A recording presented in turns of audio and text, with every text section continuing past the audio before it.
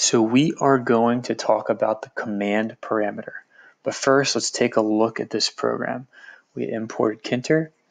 We defined a function, but haven't actually told Python what we wanted to do yet. So I just commented this out and said, this will eventually do something, right? Don't worry about it yet. We'll get to that. The root is the name of the main window. We changed the title to example app. We have three widgets we have one entry, one button, and one label. We named it entry one, button one, label one, and we have our text in our button. It says submit. Our label doesn't have any text, it's blank. We pack them all in there and we have a mini program here.